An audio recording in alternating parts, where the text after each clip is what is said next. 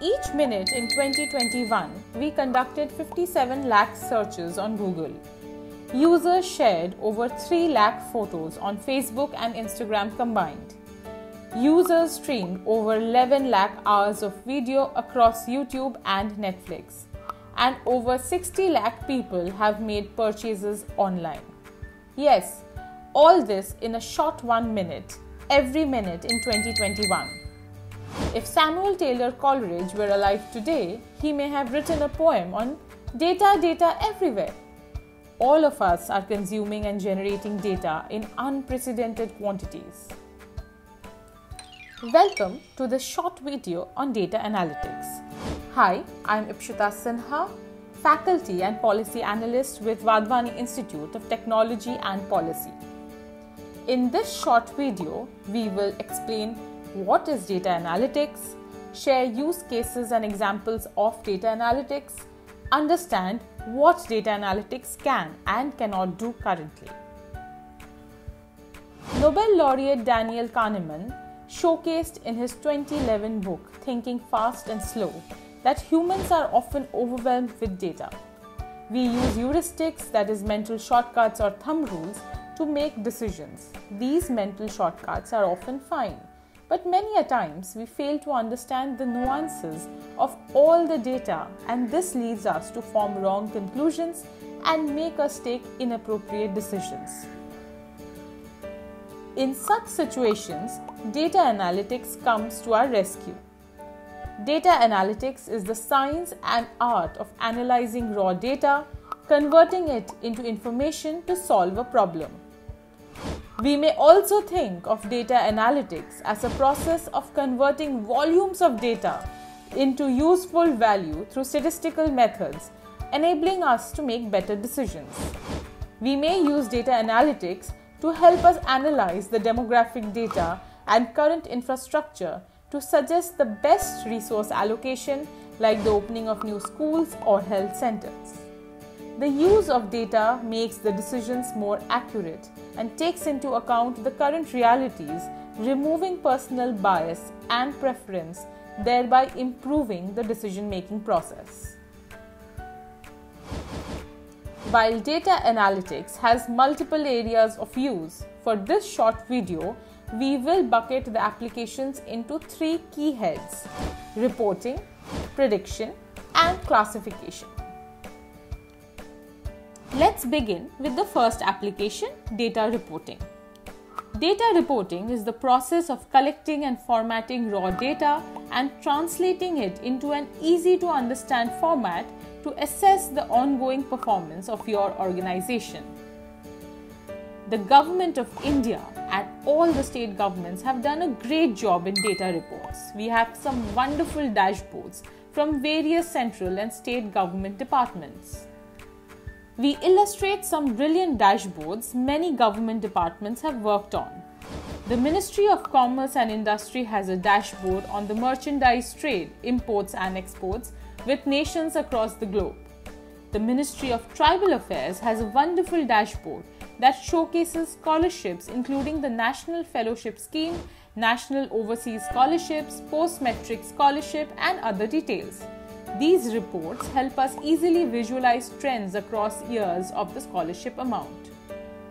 The Swasthya Tribal Health and Nutrition Portal dashboard has details on health centers, healthcare workers, population, patient caseloads, and the like. All these details may be utilized to help policymakers prioritize on best locations to build new health centers and ensure adequate healthcare infrastructure for all citizens. Dashboards help with data driven decision making and may be used by policymakers to get insights on current infrastructure such as tap water, roads, electricity connections, and demographic details like population density, age, and gender distribution to visualize the gap in tap water, roads, etc., and decide the suitable areas for the focus of infrastructure spends. Reporting also helps showcase divergence in trends and highlights outliers. For example, if we see growth in the number of children in a village but a drop in school enrollment, that should trigger an alert that action is needed. Now let's talk about data prediction. Prediction models predict values for the future and help with forecasting. Data analytics offers many methods of predictions that provide better accuracy than human guesswork or gut feel. These data driven approaches help with better decision making. Analytics enable governments to target likely problems before they erupt into crisis. Recent advancements in this area have made it possible for government to predict and anticipate problems rather than react to them. From spotting fraud to combating an epidemic, an ounce of prevention really is worth a pound of cure, especially in government. Predictive analytics is now being applied in a wide range of areas, including defense, security, healthcare, and citizen services, among others. A few examples of predictions may be what the budget a particular department may need in the next period. Given the trend, how many kilometers of road will be built by a particular time, or what the power generation and demand will be across time, and when power cuts or load shedding may be needed. It can help to predict the quantity of food grains needed in the public distribution system and ensure the required stock is requisitioned. IIT Delhi and many institutes use prediction models to estimate how many Indians will be infected with COVID 19. And finally, let's take a look at data classification model which help assign categories to data. The categories may be two or more as per the requirements. As an example, in the retail sector, how many t-shirts will be sold today is a prediction problem where we estimate the number of shirts likely to be sold. Will this blue shirt get sold today? is a classification problem with the answer of yes, it will be sold or no, it will not be sold. In the government context, the classification model can help assign users into two classes such as 1.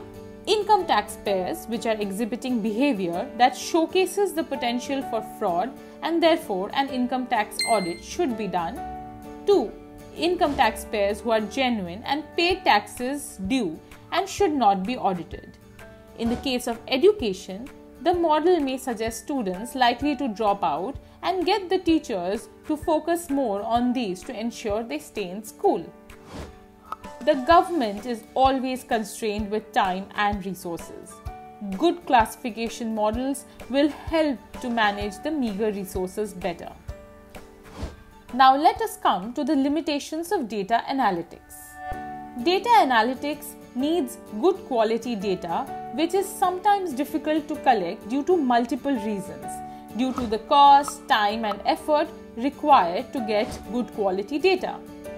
Analysis or prediction will be as good as the data is. Data analytics use past data trends to predict. In case some new major events happen, the models may not remain accurate. Financial transaction and consumer spending behavior after COVID 19 are examples of unforeseen events that can make forecasts less accurate. Also, data analytics uses statistical approaches and is focused on the explainability of results rather than only on accuracy. These are typically 80% to 90% accurate. Another method, known as machine learning, focuses on higher accuracy. Please do watch our video on machine learning and AI. Other technologies to handle such data.